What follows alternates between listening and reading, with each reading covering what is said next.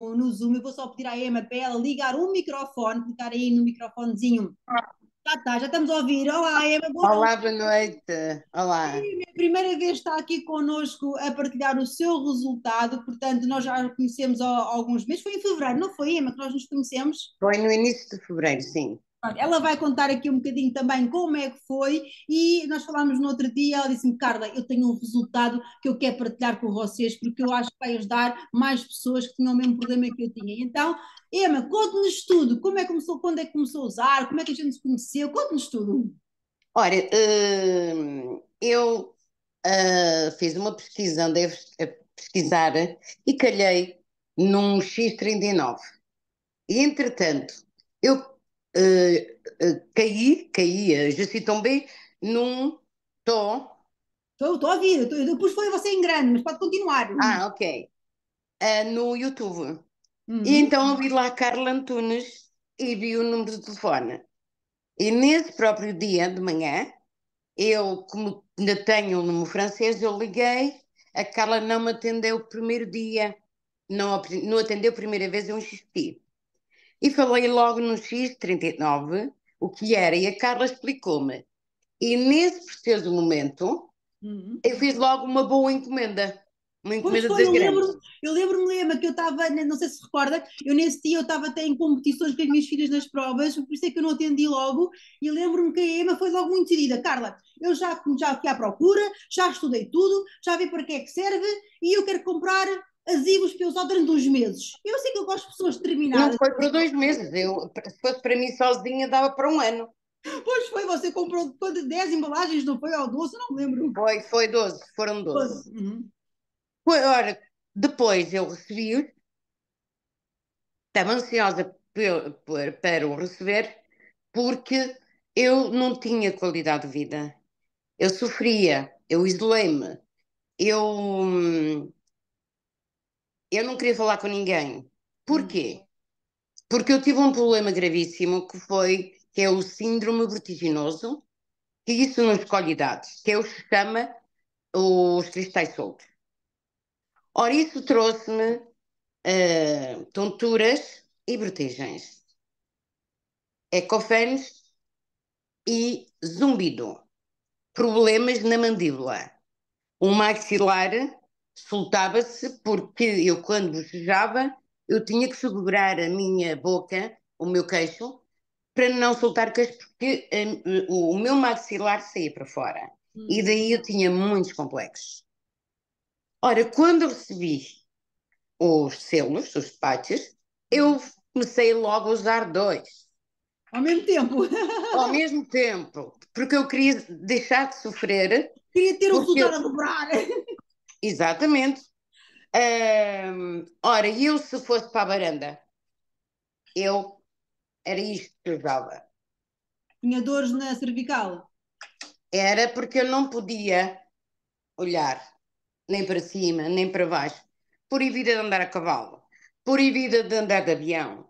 Uh, as alturas, eu sou, eu se subisse um marão, porque eu sou do norte, a Marantina, uh, era uma pressão nos ouvidos na cabeça que eu dizia que a minha cabeça não era minha, era uma, era uma pressão enorme. é, é, é, uma sensação de mas era um ABC. Pois. Portanto, são sintomas idênticos aos do ABC. Tanto é que depois, com os exames, com o TAC, uh, acusou que era o síndrome vertiginoso. Ora, desde dois, 2019, na altura do Covid, eu andava aí a sofrer bastante. E isso trouxe-me outros problemas. Ora, eu comecei a usar o, prima, o selo mais ou menos perto do labirinto e do cerebelo. Que é aquele que... Não percebeu? Na cervical. Uh, sim, mas naquela, naquele buraquinho que nós temos, sim, sim. que é para mais ou menos ficar orientada entre o labirinto e o cerebelo, que é aquilo que faz a manutenção dos músculos e das artérias. Uhum. Porque a pressão era muita, parecia uma abelha de cá dentro, e estava um mal-estar. Eu não, eu não podia estar no meio das multidões. Portanto, só nisso era uma, uma infeliz. Uhum. Ora, eu três semanas depois, os ecofenes do zumbido e as vertigens, porque não podemos misturar vertigens com tonturas, uh, começaram a, a, diminuir porque eu não podia, com um garrafão de água, que era, ai, uma tontura, agarrai-me que eu vou cair. Eu subia de uma árvore a abanar, ai, eu estou a cair. Se tivesse uma cadeira a andar, uh, dava a sensação, estava uma coisa a mexer à minha frente, era eu, ai, que eu vou cair. Ficava pálida, transpirava suores, uh, calafrios. Uhum. Portanto, daí tive uh, até desde fevereiro até hoje, só que aqui na Madeira ainda não tive nem tonturas nem vertigens. Uhum. Além disso, tenho outro problema que é os bicos de papagaio. Andava na fisioterapia e, e depois o selo estava aqui. O que é que está aqui a fazer? O fisioterapeuta era, perdi massa musculares, uh, eu estava completamente desidratada, porque eu não bebia água, até os selos me obrigaram a beber água, que uhum. agora bebo água com prazer, que antes não bebia. Uh, fiquei 50% surda deste ouvido. Uh, e comecei a melhorar, mesmo em termos de audição. A visão igual, portanto, não foi preciso mudar, eh, de dois em dois anos mudava de óculos, portanto, fui, não foi preciso mudar as lentes, ele ficou estupefacto e disse, não, o seu, o seu caso está estagnado. Ok, muito bem. Pronto. Outro problema que é a doença do DPOC. Era só corticoide, eram as bombas, uh, as alergias. As sinusites, as rinites. É sinusite e rinite. Uma narina ficou completamente, completamente obstruída derivado ao spray nasal corticoide.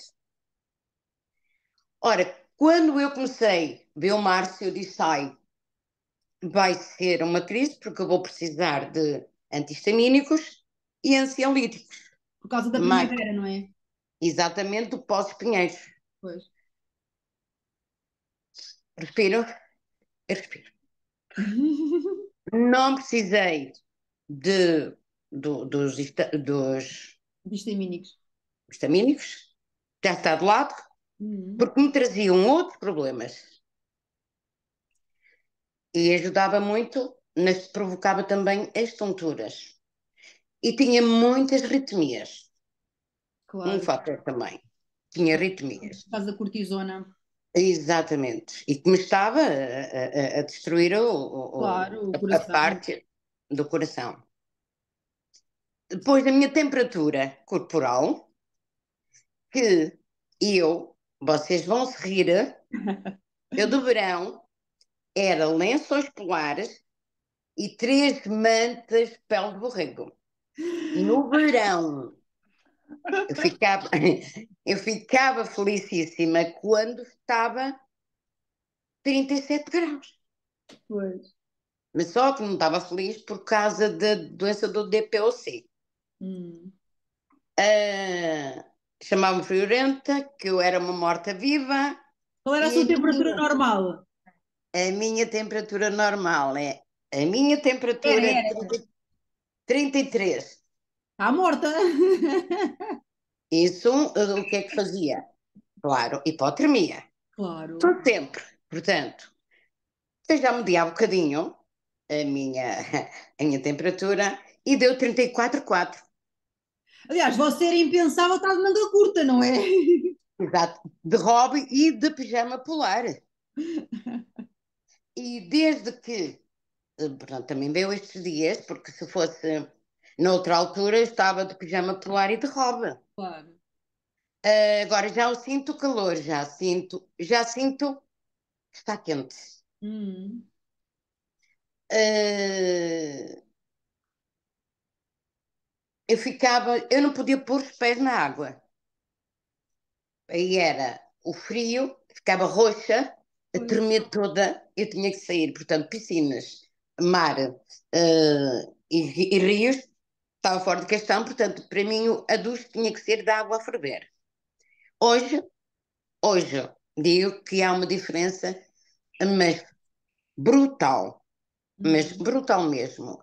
Portanto, da DPOC, do, da, da, do síndrome vertiginoso, da temperatura corporal, tinha 30% dos meus cabelos, deixei crescer para mostrar, porque é, que eu costumo dizer, contra factos, não argumentos, Uhum. uh, eu pintava precisamente por isso. Portanto, Cabelo preto. preto.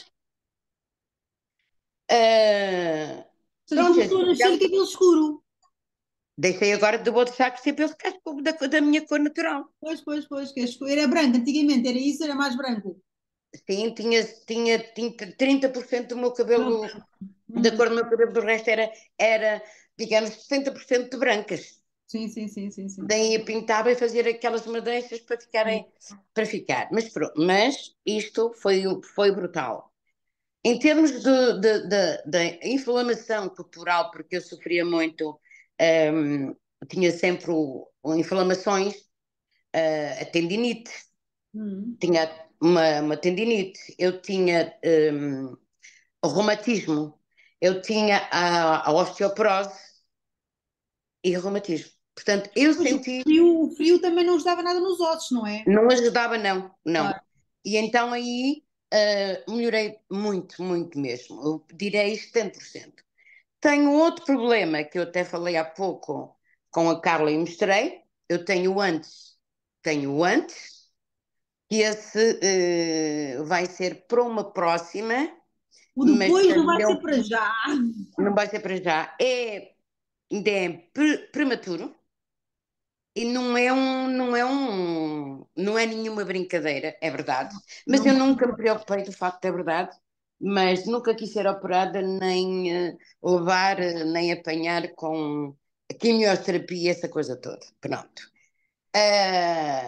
Deve- mais ou menos já devem calcular. Ahm, Sinto-me bem, feliz. Ah, de manhã acordo com dinamismo louco. Eu virei a minha casa pernas para o ar, foi jardim, tudo porque estou a 20 metros do rio, ainda por cima esse. Ah, e gosto pela vida. E fiz as pazes com o espelho. O espelho. Está mais as fiz as pazes com o espelho porque eu já pris um coup de vieille. Traduzir. é, ah, e comecei a sonhar. Eu tenho meus próprios filhos que eram mãe. Parece até melhor, porque é verdade, eu tinha, tinha um. Portanto, e uma pessoa olha seu espelho e diz não, não quero mais falar contigo, a partir de hoje não vejo mais. E pronto, só depois é que comecei a, a ter resultados, é que comecei a olhar para os espelhos, eu estou a gostar mais. Já te venho visitar mais vezes. Portanto, fiz as pazes com o espelho.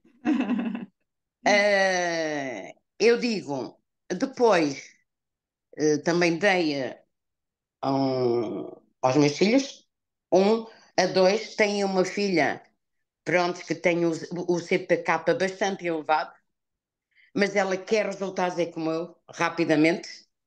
Eh, eu disse, deixa que a mãe vai encomendar mais outra dose e tu... eh, é como se ela fizesse um desporto Ah, Portanto, uh, que não, faz, não, posso fazer, não pode fazer desporto, porque senão então o CPK fica muito mais, fica, sobe de hum, imediato. E então ela fica, o corpo dela fica todo adormecido. hum. A parte da coluna, músculos e fica completamente atrofiada. E dei-lhe, durante duas semanas, experimentou e estava, uh, de facto, a, melhorar.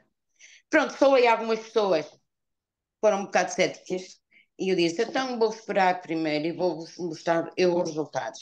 Pronto, aqui está o meu... uh, O seu segredo Eu ao menos pego no grande, pego, e que assim é mais, é mais visível. Se é mais pego- Este está Pronto. dentro daquele, para quem não sabe, este aqui está dentro do outro.